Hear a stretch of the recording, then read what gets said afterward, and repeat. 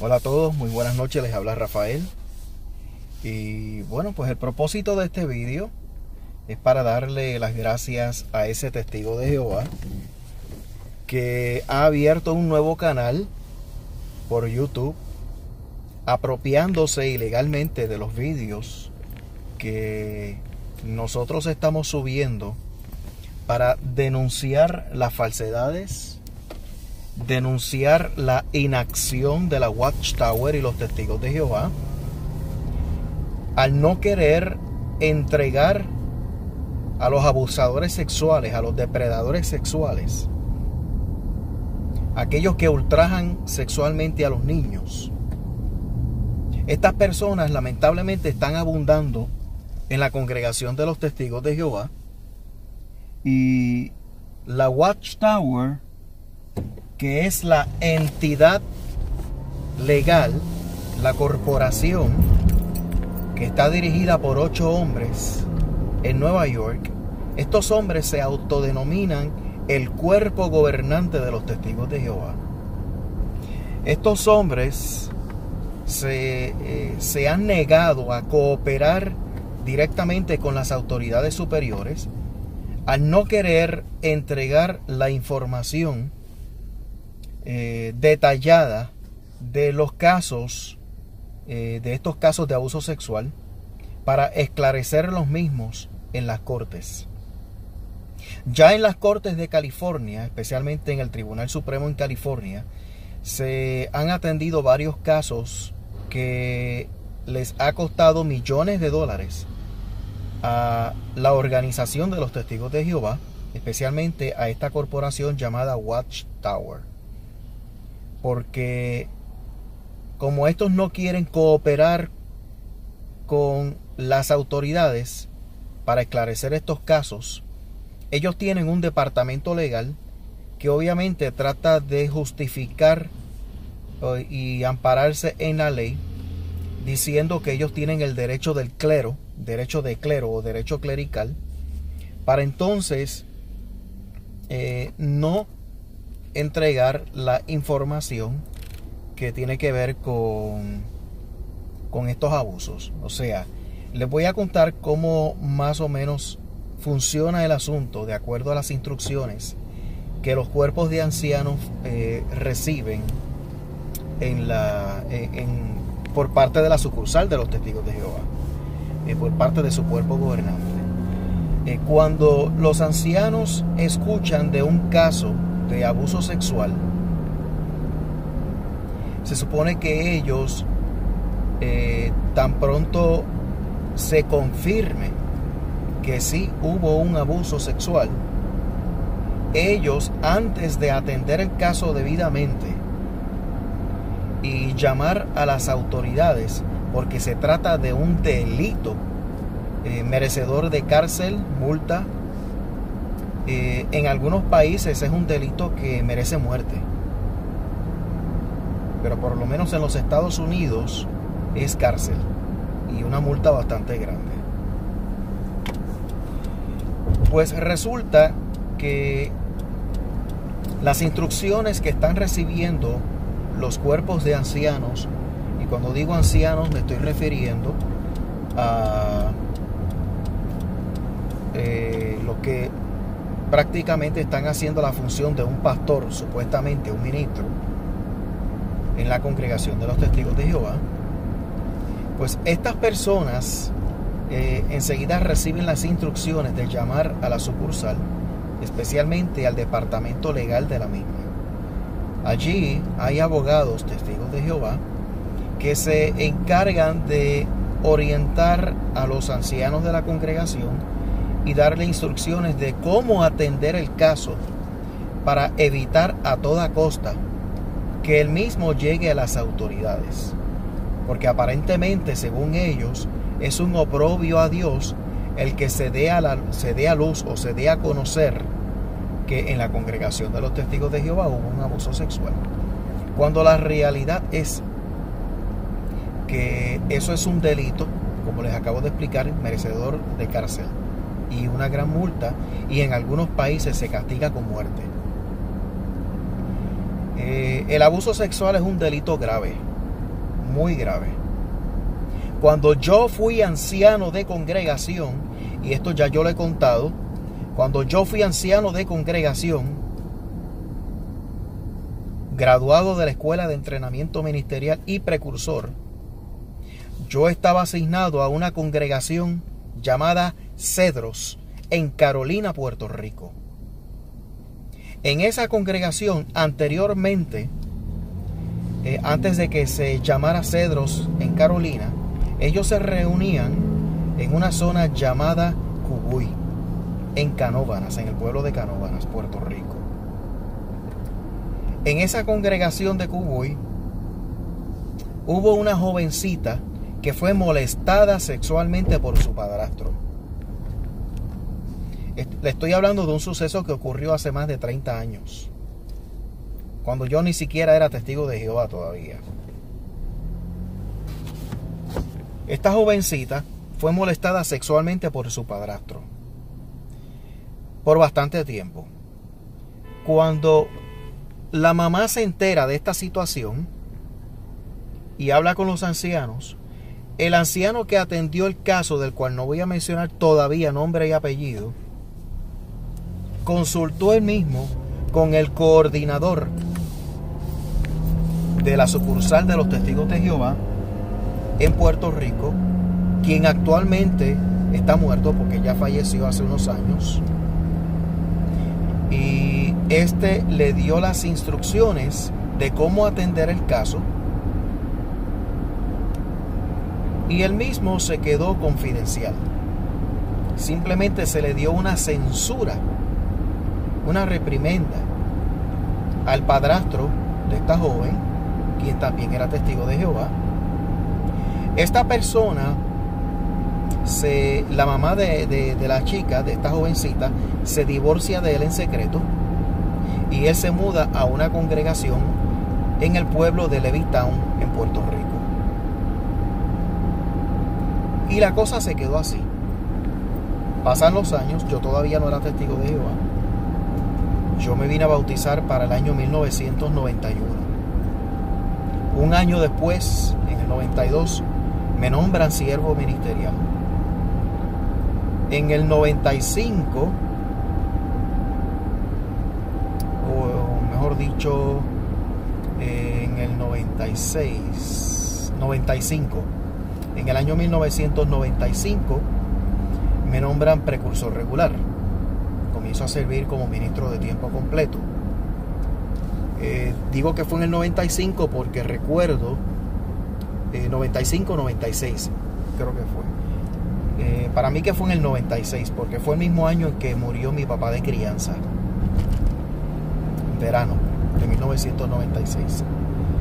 Eh, un año después recibo, o casi un año después, recibo la invitación para asistir a la escuela de entrenamiento ministerial. Eso fue en el año 1997. Eh, un año después, en el 98, recibo mi primera asignación y de ahí continué recibiendo varias asignaciones hasta que en el año 2001 fue que comencé a asistir y servir como superintendente presidente, lo que ahora le llaman el coordinador del cuerpo de ancianos en esa congregación de Carolina, en Puerto Rico. Pasan varios años y yo todavía no me había enterado del asunto. Ya para ese entonces yo tenía unos 37, 38 años de edad. Yo me había bautizado a los 20 años, así que habían pasado ya unos 17 eh, años. Ya habían pasado casi, sí, unos 17, 18 años aproximadamente. Cuando yo me entero, sea, después de yo haberme bautizado, después de yo haberme hecho testigo de Jehová, cuando entonces yo me enteré de esa situación. Comienzo a atender la misma. Y quiero reunir a todos los implicados, incluyendo al anciano que atendió ese caso originalmente. Y cuando ellos se enteran que yo estoy investigando, que ya estoy empezando a hablar con los familiares de la víctima y quiero hablar con la víctima, para ese entonces ella estaba pasando por una situación difícil en la cual estaba separándose o estaba separada del marido pero estaba teniendo también ella problemas con su madre, porque su madre se pasaba amenazándola constantemente y siempre la, la maltrataba, porque ella fue la razón por la cual su madre se tuvo que divorciar. O sea que ella fue la causa, la víctima de haber sido molestada sexualmente, esa víctima fue la causa del divorcio. Así que para su madre fue mucho más importante mantener la unión con el depredador o con el pedófilo que mantener la dignidad de la familia protegiendo a su hija. Así que de todos modos ella se divorcia, pero siempre estuvo maltratando a su hija porque la encontró como la causa de su divorcio. Su hija comienza a tener obviamente constantes problemas con ella y dentro del trauma, la situación y el desahogo, le confiesa a otro anciano en la congregación que ella lo que le había ocurrido. Esta persona, eh, este anciano me trae a colación el caso a mí, me lo trae a mí porque yo era el coordinador del cuerpo de ancianos, yo tenía que estar enterado del asunto. Así que cuando yo comienzo a investigar todo y voy a echar hacia adelante el caso, este anciano se echa para atrás. O sea, eh, se, se, retrae de ayudarme en atender el caso después que, lo, me lo trajo. ¿Por qué él no quiso seguir con el caso? Porque él estaba a punto de entrar a la escuela de entrenamiento ministerial y para él era mucho más importante asistir a esa escuela que atender un caso de posible abuso sexual en la congregación. Por lo menos acoso sexual y actos lascivos. Y yo le dije, este caso se tiene que atender porque aquí hubo un delito. Él me dice que es la palabra de uno contra la palabra de otro. Yo dije, no, eso no solamente se queda ahí porque ya hubo una confesión, ya eso está en los registros, ya sabemos quiénes son las personas, aquí no hay nada que ocultar, aquí no hay ninguna palabra de uno contra la palabra de otro, son varias personas y ya está la familia enterada. Entonces tiene que llevar a la policía. Y me dice, sí, eso es verdad. Pero entonces él confabula con otros ancianos en la congregación. Y hasta con la madre de esta joven, quien entonces aparentemente hizo las paces con su hija de forma inmediata, de emergencia, se hizo las paces con ella de emergencia, se perdonaron mutuamente de emergencia, eso me dice él, pero yo nunca tuve la oportunidad de sentarme con ella para hablar de la situación. Así que la madre entonces le insiste a su hija y la convenció para que se mudara a los Estados Unidos de América. Para ese entonces recuerden que yo estaba viviendo en Puerto Rico. Se mudara a los Estados Unidos de América para que regresara con su esposo, quien estaba viviendo también a los Estados, Unidos, porque ellos estaban separados. Que se reconciliara con el esposo y se fuera con él. Y entonces le dejó las hijas a ella para que se fuera con su marido, porque la controversia estaba en que ella le quería quitar las hijas. Ah, que se quería quedar con sus nietas. Ella amenazó a su hija con quitarle sus hijas. Pero enseguida quiso dejarlo todo así. Supuestamente la perdonó o que, le pidió perdón y la convenció para que regresara con su marido en los Estados Unidos y se reconciliara con él, viviera su vida, que estuvieran en paz. Pero eso fue a instancias o a, bajo insistencia de este anciano que enseguida las animó a que hiciera eso para que inmediatamente se dejara todo así y yo no tuviera al alcance de mi mano la atención del caso.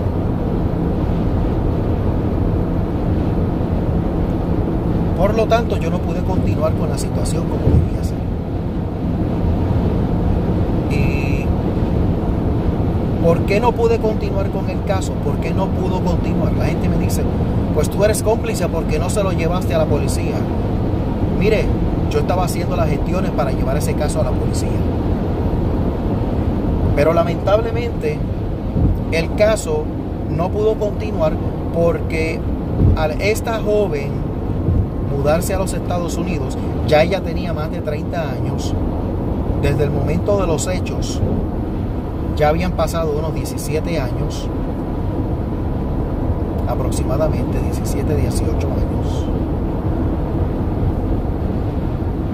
Al ella mudarse, y por decirlo así, eh, ella irse, no quiso dejarlo todo atrás, no quiso continuar con la situación, pues entonces yo me quedé con las manos vacías.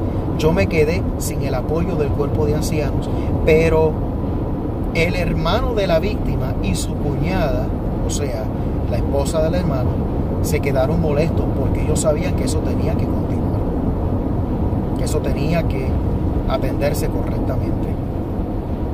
Y ellos me lo decían a mi hermano Candelaria, ¿por qué? Esto es un delito, eso se tiene que resolver. Yo dije, sí, yo estoy consciente de ello, pero lamentablemente pasaron estas cosas.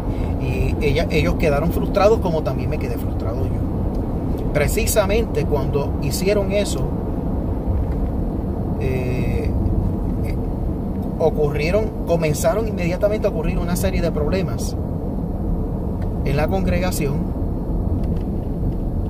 y el cuerpo de ancianos comenzó a acusar a quien fuera mi esposa en ese momento de unas cosas que ella al momento no había hecho.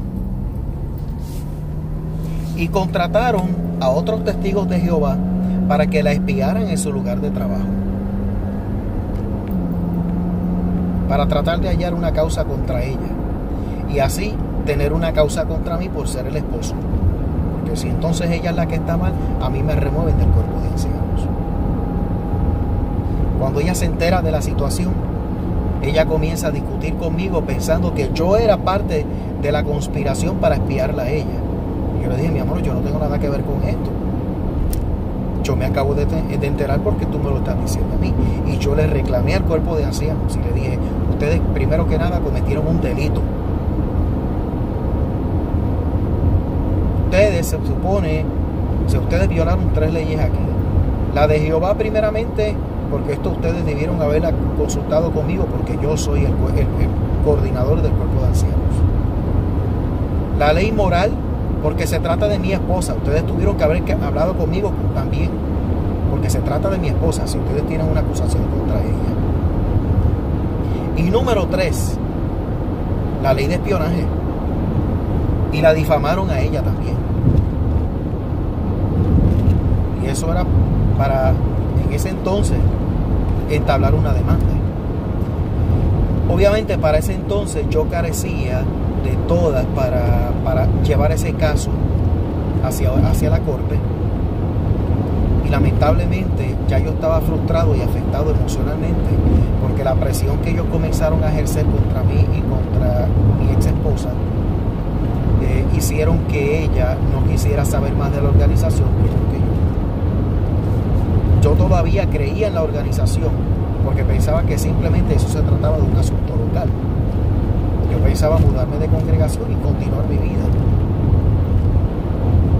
Pero entonces eh, ya ella estaba tan afectada que ella no quiso saber más de la organización.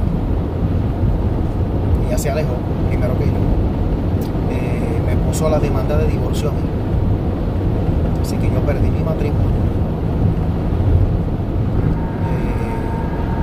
ella estaba afectada emocionalmente, ya ella estaba bien. Y no había manera en ese momento de convencerla. Y terminamos en divorcio. Entonces yo, eh, aceptando una oferta de trabajo, me mudo al estado de Pensilvania. A una ciudad bastante bonita, antigua, bien antigua bastante bonita, con gente muy buena. Ahí fue cuando yo tuve la, oportunidad de conocer gente de diferentes religiones, judíos, musulmanes, hindúes, católicos, protestantes, episcopales, eh, sin prejuicios, todos me trataban muy bien. Ahí fue que empecé a darme cuenta que las cosas en el mundo no eran como las pintaban en la Watchtower. Yo me había divorciado un miércoles según la fecha ¿verdad? de los días festivos. fue un miércoles víspera de acción de gracias para el año 2008. Ese fue el día en que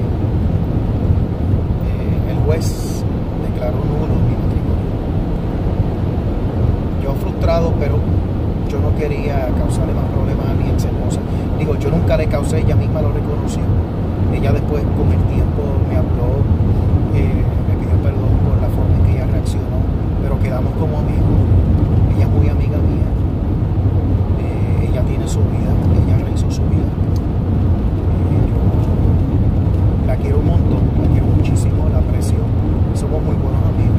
Nos comunicamos todavía cuando ella necesita consultar algo, diferentes asuntos y especialmente, aunque ella vive todavía en Puerto Rico, yo vivo en los Estados Unidos, pero ella me, me, consulta, ella cuando quiere consultar asuntos que tienen que ver con, con la salud dental, la odontología, pues ella me llama pidiéndome orientación. Y yo la oriento lo más que hemos hablado de diferentes cosas y está muy bien. Yo no tengo absolutamente nada contra ella. Eh, yo sí recuerdo que tristemente en ese momento eh, yo sufrí un divorcio. Yo sufrí un divorcio. Para mí esa fue una de las etapas y una de las experiencias más traumatizantes de mi vida.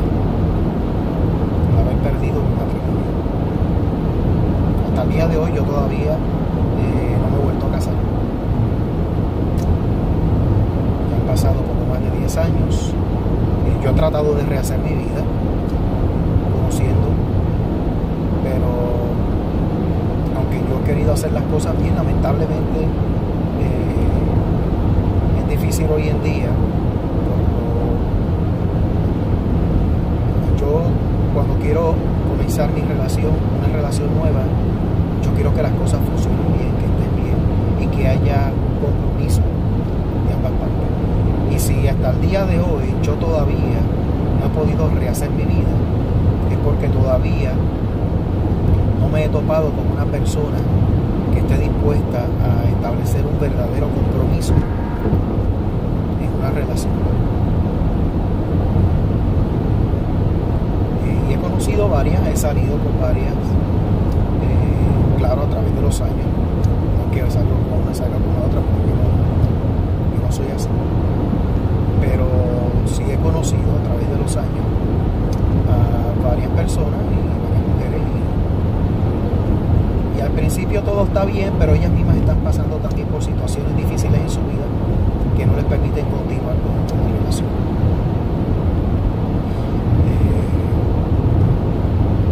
yo, sigue, yo seguí con mi vida normalmente. Eso fue miércoles. El jueves yo estaba en la casa de mi familia. El viernes yo estaba compartiendo la, con mi hermana, una de mis hermanas. El sábado estaba compartiendo con ex compañeros de la escuela, la escuela superior. Y el domingo estaba yo viajando al estado de Pensilvania cuatro días. Cuatro días después de mi divorcio, yo caigo en los Estados Unidos de América en un ambiente totalmente distinto, personas distintas, y idioma distinto, aunque ya yo hablaba inglés, ahora es que lo he estado practicando más a menudo, viviendo aquí. Y resultó que, quien me recibió en el aeropuerto fueron, eh, fue mi supervisora dos supervisoras de la empresa para la cual fui contratado para trabajar en el campo de la odontología. Y hasta entonces, de allá para acá, ya han pasado 10 años. Eh, al principio yo no tenía la intención de irme. Yo quería continuar en la organización, pero recibiendo constantes presiones por parte de testigos de Jehová, por parte de familiares, la frustración por la cual yo estaba pasando y otros asuntos más, me llevó a mí a seguir investigando un poco más acerca de la organización, como le pasa a la mayoría de los ex testigos de Jehová. Ahí automáticamente descubrí que el caso que yo estaba atendiendo no era el único. Eh, yo vi un vídeo eh, publicado por Franco, eh, eh, que se titulaba Los testigos de Jehová ocultan a sus pedratas. Yo vi cómo estaban insultando a Franco Olcese hasta con palabras sueces eh, lo tildaban de diferentes cosas, le decían homosexual, como a mí mismo, a mí constantemente se pasan diciendo que yo soy homosexual, que yo soy un pedófilo frustrado, cuando la realidad es que yo estuve peleando contra los pedófilos, yo estuve peleando contra los depredadores sexuales y contra los que ocultan a los depredadores sexuales, a los pederastas. Yo soy activista en contra de esas cosas y yo peleo contra eso y ayudo a quien pueda para que los casos e informo también sobre los casos de pedofilia entre los testigos de Jehová para que continúen eh, la gente estando alerta. E informo los casos en los cuales eh, víctimas de los testigos de Jehová en este caso pues han tenido éxito demandando a la organización de los testigos de Jehová y hasta ahora pues hasta el momento este ha sido mi activismo y eso es lo que yo hago. A mí me han querido acusar de que yo hago dinero con estos vídeos. Hay personas que piden que los auspicien, eh, que, que le den like y compartan los vídeos. Hay personas que se encuentran, o mejor dicho, que que tienen el vídeo afiliado a otro a otra parte del internet, otro sitio del internet, para que la gente los auspicie monetariamente. A mí me han sugerido amablemente algunas personas que yo debería estar haciendo dinero con esto. Y aún a los que amablemente me lo sugieren, yo les digo que no, que esa no es mi intención a mí no me interesa hacer dinero con estos vídeos. Esto yo lo hago de manera voluntaria porque yo quiero ayudar a cuantas personas se hayan visto afectadas al pertenecer o al tener algún tipo de contacto con la organización de los testigos de que han sufrido de diferentes maneras, ya sea por haber sido abusados sexualmente o por otros asuntos porque simplemente dejaron de creer por algunas falsas profecías, falsas enseñanzas, cosas que e-, ellos constantemente continúan eh, eh, tergiversando la Biblia, tergiversando muchas de sus enseñanzas, y contrario a aceptar públicamente que lo están haciendo mal y corregir, no, ellos no corrigen, ellos siguen tapando sucio con más sucio. Una marca de, un limpiador, un líquido para limpiar, es muy famoso en Puerto Rico. Y decía, no perfumes el sucio, decía el comercial de televisión. No perfumes el sucio, sácalo con este producto. Voy a decir el nombre del producto. Y eso era lo que estaba ocurriendo con los testigos de Jehová ellos perfumaban el sucio, pero no lo sacaban. En otras palabras, ellos trataban de pintar con algo muy bonito las enseñanzas que resultaban no ser ciertas, pero no corregían la enseñanza. Yo invito a toda persona que esté viendo este vídeo a que simplemente escriba por YouTube o por el internet falsas enseñanzas de los testigos de Jehová. Y eso va a ser suficiente para que ustedes vean un sinnúmero de vídeos que enumeran las falsas enseñanzas de los testigos de Jehová desde el comienzo de la organización hasta el día de hoy. Y también eh, escriban abusos sexuales testigos de Jehová. Escriban eso sencillamente y automáticamente van a salir muchos vídeos que hablan de eso. También pirámide de los testigos de Jehová y van a ver muchos vídeos. Y fotos e información acerca de eso. Porque la pirámide es un símbolo eh, esotérico, masón. Eh, ¿Por qué? Porque Charles H. Russell, el fundador de la Watchtower, era un masón. Él era miembro de la logia masónica. Y él fue enterrado, obviamente, en el cementerio de la logia masónica en Pittsburgh, Pensilvania. Ahí es donde se encuentra su cuerpo. O, su, o mejor dicho, sus restos. En la lápida o en el sepulcro de Charles H. Russell hay una lápida con la foto de él que dice en memoria de Charles H. Russell, mensajero de la Odisea. Y detrás de la lápida una pirámide en piedra que dice Watchtower Bible and Tract Society. Eso no es una mentira, búsquenlo ustedes mismos. Pero, ¿qué está ocurriendo? Hay testigos de Jehová que se molestan y les duele el que nosotros estemos dando a conocer estas cosas. Se molestan porque estamos diciendo una verdad, porque estamos ayudando a la gente a que tenga, estén conscientes de los problemas que están ocurriendo en las organizaciones religiosas.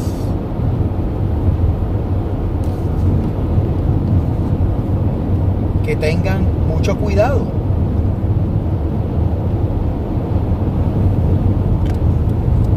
porque son muchas las personas que están estudiando acerca de religión, están estudiando la Biblia y se acercan a diferentes organizaciones religiosas buscando satisfacer una necesidad espiritual y se topan con los testigos de Jehová. Pero entonces hay cosas que ellos desconocen acerca de la organización de los testigos de Jehová. De hecho, ahora los testigos de Jehová están haciendo hasta esfuerzos por destruir documentos y literatura de hace muchos años, porque no quieren que generaciones futuras conozcan la historia de la organización de los testigos de Jehová, porque si lo conocen, obviamente van a decir ustedes son unos falsos y se van a alejar de la organización. Y ni siquiera van a querer saber de ellos. Y eso es precisamente lo que está ocurriendo. Muchos de ellos están frustrados y tienen mucho coraje porque estamos denunciando. Nosotros somos muchas las personas que estamos dando a conocer esto. Entre esos testigos de Jehová que se molestan y nos hablan con palabras sueces y hasta nos difaman, eh, hay un canal en YouTube que lo voy a dar a conocer que se, que se llama Desenmascarando a los Apóstatas. Desenmascarando a los Apóstatas. Refiriéndose a nosotros. Primero que nada, eh, al dueño de ese canal eh, está cometiendo el delito de apropiarse ilegalmente de nuestros vídeos para republicarlos, para difamarnos a nosotros. Eh, segundo, en parte a mí no me afecta en lo absoluto porque me estás dando promoción, o sea, me estás dando a conocer. La gente se va a dar de que eres falso, de que eres un mentiroso y de que eres un sucio. Estás publicando vídeos míos para decir que yo soy un apóstata resentido.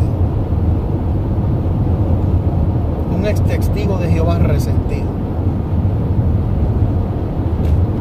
Obviamente se resiente cualquiera al saber que ahí una persona abusa sexualmente de un niño y los testigos de Jehová lo esconden. Se resiente cualquiera. Una persona que tenga verdadera dignidad y sentido de seriedad y compromiso para con el bienestar de la gente y especialmente el bienestar de los niños, se indigna. Se indigna cuando se entera de que un pederasta, un pedófilo, abusó sexualmente de un niño o una niña y la organización religiosa a la cual pertenece, en este caso los testigos de Jehová, ocultan al pederasta. Entonces ellos dicen que yo soy un resentido.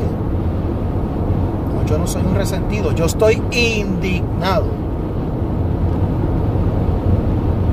Bien indignado. Ahora, el dueño de ese canal de YouTube llamado Desenmascarando a los Apóstatas es un defensor de la organización religiosa que oculta abusadores sexuales. Así que desenmascarando a los apóstatas, ese canal de YouTube defiende a los depredadores sexuales. Él está a favor de la pedofilia, a favor del abuso sexual. Porque al él o ella estar difamándonos a nosotros por dar a conocer estas cosas, ¿qué está haciendo él? Está defendiendo a una organización religiosa que oculta pederastas. Obviamente, yo en lo personal me siento indignado. También se ha dedicado a difamar a Carolina, a Caro. Sí. Hay una joven origen boliviano que vivió en los Estados Unidos, en el estado de Pensilvania también, qué casualidad, y está subiendo algunos vídeos dando a conocer sus experiencias como testigo de Jehová. Y ella tenía también la, la intención de regresar a la organización, pero cuando se enteró de todas estas cosas, decidió mejor no regresar. Se sintió indignada. Pero el dueño de ese canal, ocultando, o desenmascarando a los apóstatas, está difamándola a ella. Entonces, ¿qué tiene esa persona que decir de nosotros? ¿De qué me está acusando? Primero que nada, no me conoce. Yo nunca he cometido absolutamente nada. Yo nunca fui expulsado tampoco renuncié por escrito. Yo me levanté una noche, recogí mi bulto, o sea, mi maletín, salí por la puerta del salón y no regresé más. Y eso ocurrió en el mes de octubre, mes de octubre o principios de noviembre del año 2008.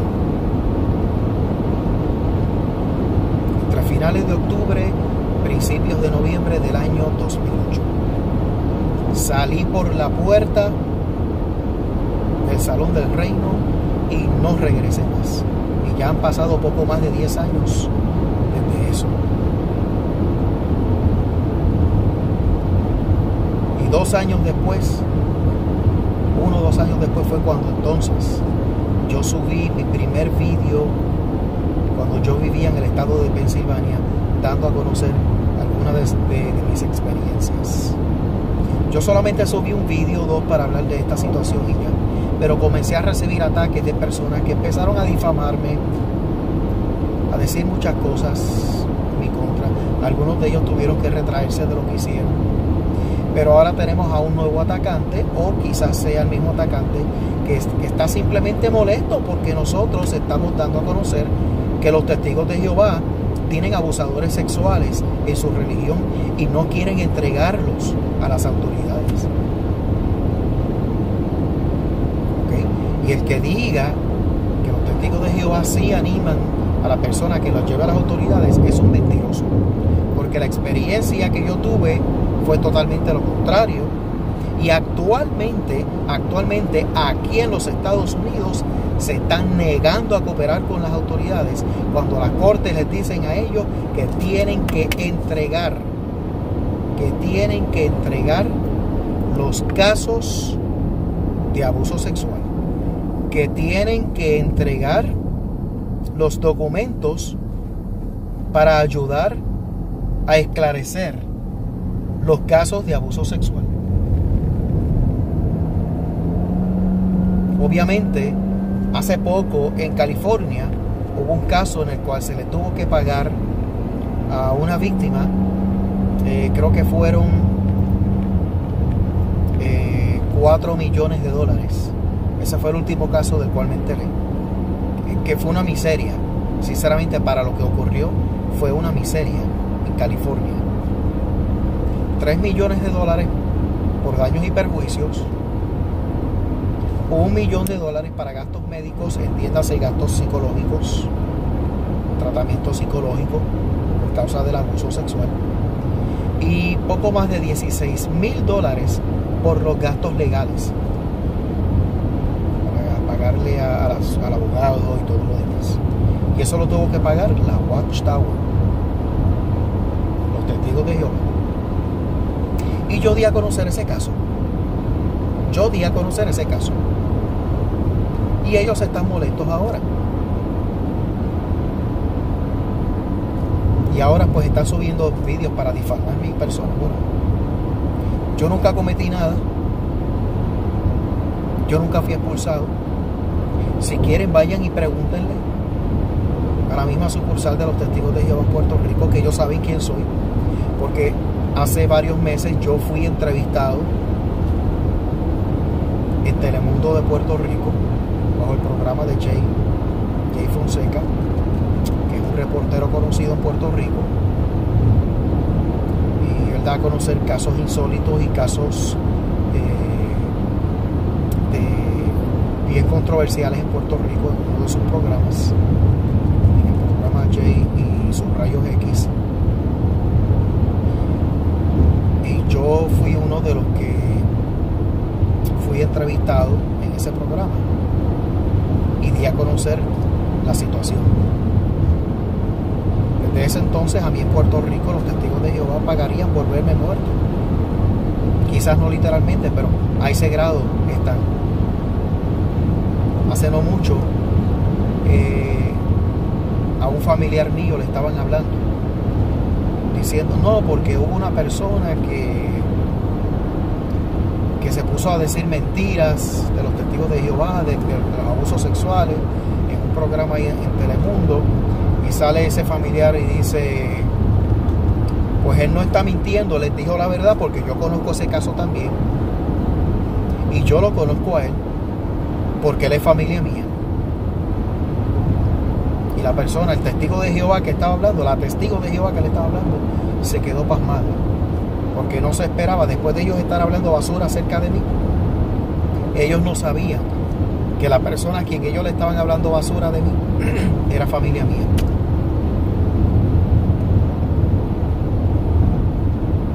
Se quedaron pasmaditos. O sea que en Puerto Rico a mí me tienen como uno de los apóstatas que más se ha destacado en, en denunciar a los testigos de Jehová la Watchtower. Y eso es lo que sí ha estado ocurriendo. Dice, desenmascarando a los apóstatas. ¿Qué máscara tengo yo? ¿De qué me está desenmascarando a mí? ¿Será que me estás dando a conocer? Así que ese canal en realidad no me está desenmascarando ni a mí ni a, ni a Carolina. A nosotros no nos están desenmascarando. Ustedes nos están dando a conocer, que es otra cosa. Ustedes le están dando promoción a mis vídeos para que más gente las vea. O sea que mientras más usted continúe dando a conocer esto, usted le está diciendo a la gente, vayan y vean sus vídeos. En realidad está cometiendo una gran estupidez lo que está haciendo. Así que definitivamente eh, te está saliendo mala jugada a la, a la señora o el señor detrás del canal de YouTube desenmascarando a los apóstatas. La jugada te está saliendo bien mal. El juego te está quedando bien mal. Estás fallando. Estás fallando. Te está saliendo bien mal todo. Todo. Porque la gente va, se va a poner a ver todos mis vídeos. Y se van a informar más acerca de esa maquiavélica sucia organización, secta, llena de pedófilos. Y yo personalmente, lo he dicho, yo soy Rafael David Candelaria, ex testigo de Jehová de Puerto Rico.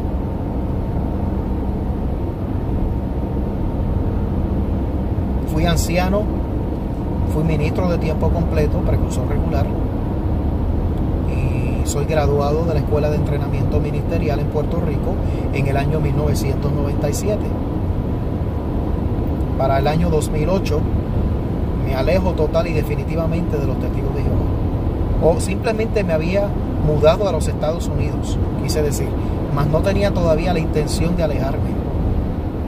Me vine a alejar de la organización un año después, cuando comienzo a recibir esos constantes acosos por parte de testigos de Jehová y otras personas y simplemente me cansé. Me cansé. Yo dije, hasta aquí llegué. No quiero saber más de la organización. Y aquí estoy. Tuve la oportunidad de practicar mi profesión y me está yendo muy bien. Muy bien. Al igual que a Carolina, le está yendo muy bien, que está muy contenta, está feliz, tiene familia, eh, se casó, está muy bien y está muy feliz y está ahora dando a conocer estas cosas, porque ella también entiende que es un deber hacerlo. Así que esa persona cuyo canal es desenmascarando a los apóstatas es un testigo de Jehová que está cometiendo un error grave. Porque en la organización de los testigos de Jehová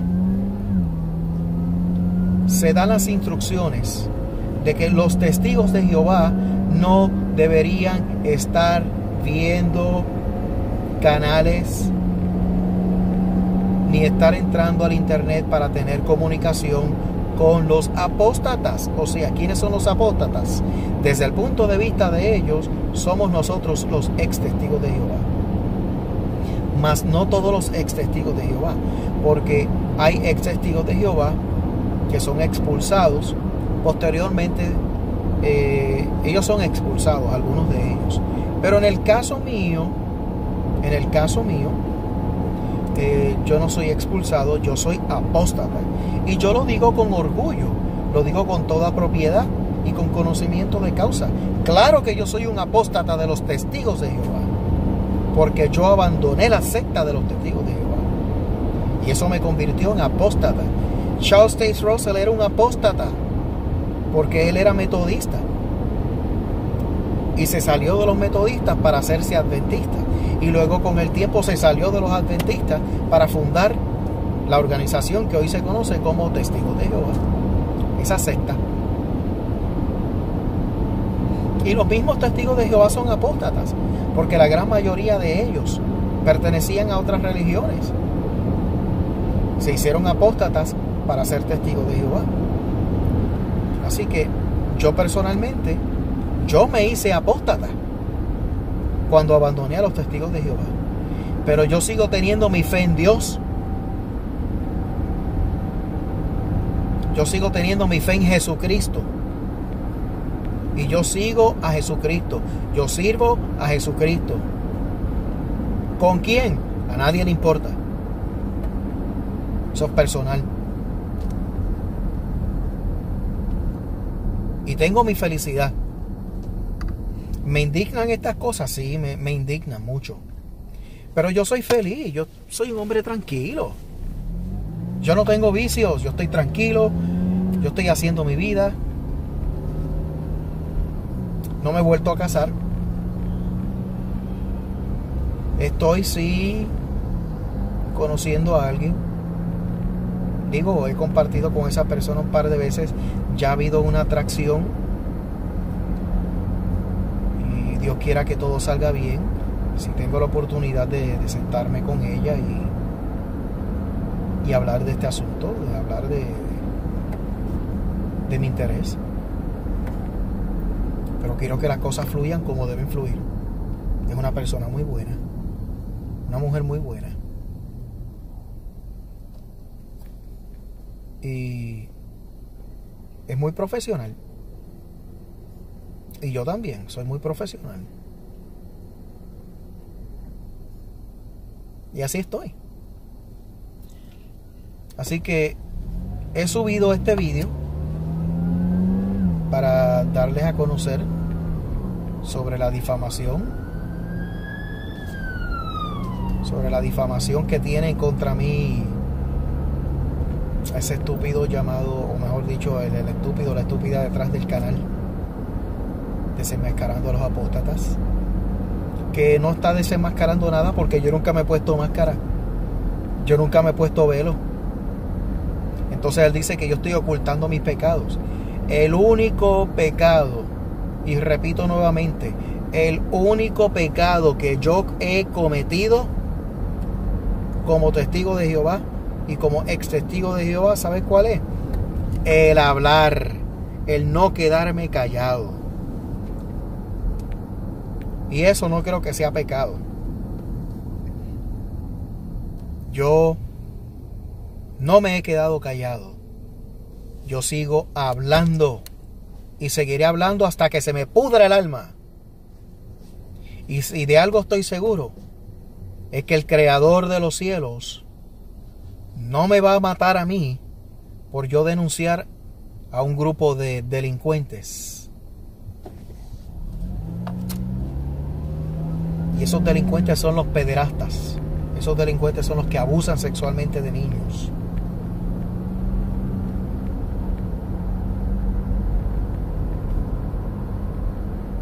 Eso es lo que estoy haciendo. Dando a conocer estos casos. ¿Me odian por eso? Odienme. Pero de algo ya yo estoy seguro. Es que la mayoría de los que me están viendo, la mayoría de los que me conocen, saben que estoy diciendo la verdad y me están apoyando. Así que señores, los dejo. Gracias a todos por su apoyo. No se queden callados, testigos y testigos de Jehová, no se queden callados. Cuando usted sepa de un abuso sexual, denúncielo inmediatamente a las autoridades. No se deje intimidar por el cuerpo de ancianos, porque si el cuerpo de ancianos se atreve a intimidarlo a usted, de decir que usted va a ser expulsado o algo así, demándelos a ellos también. Miren, estoy denunciando al pederasta y también estoy denunciando a los ancianos porque me quisieron intimidar diciendo que no, que me iban a expulsar si yo lo daba a conocer.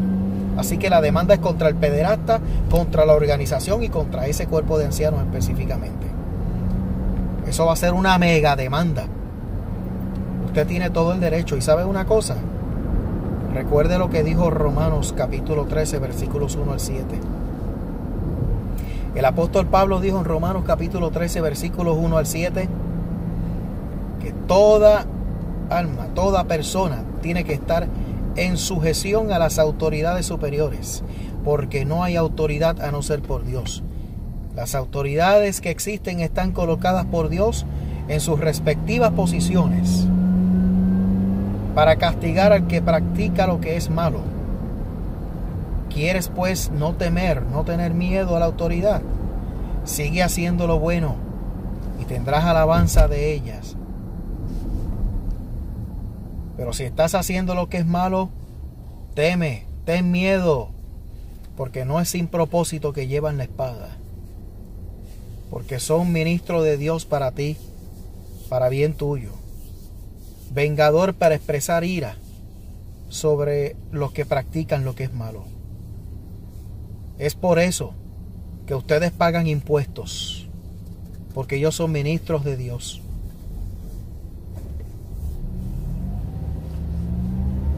Romanos capítulo 13, versículos 1 al 7. Y Jesucristo mismo, el Rey de Reyes y Señor de Señores, Salvador nuestro, a quien yo sigo y sirvo y pregoneo, y lo digo con todo orgullo, soy cristiano y sirvo a Jesucristo. Jesucristo está de mi parte. ¿Saben por qué yo no tengo miedo? Porque Jesucristo está de mi parte. Si el Señor está con nosotros, ¿quién contra nosotros? Y Filipenses 4:13, todo lo puedo en Cristo que me fortalece.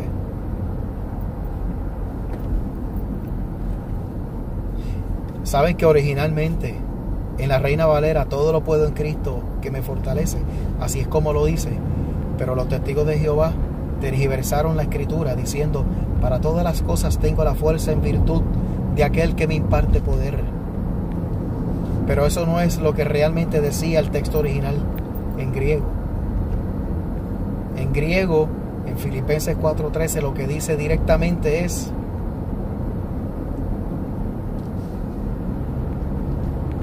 todo lo puedo en Cristo.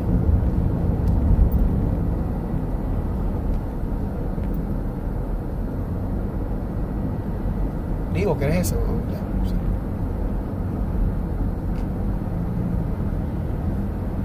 La Biblia lo dice claramente.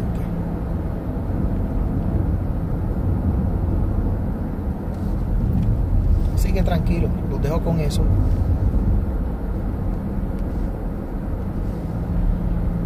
Cuídense. Gracias. Esto fue un vídeo largo. Yo sé que fue un vídeo largo. Pero hay que denunciar a la gente insensata. A ese holgazán que en vez de sentarse a estudiar la Biblia y leerla realmente y orar y dedicarse a, predicar el Evangelio de Cristo, Fíjate, esas personas como esas personas, esos testigos de Jehová me hacen a mí acercar, acercarme más a Jesucristo. A declararlo a viva voz. Que yo me entregué a Cristo. Hay quienes son ateos, allá ustedes, los respeto, pero yo me entregué a Cristo. Y por eso estoy tranquilo y soy feliz.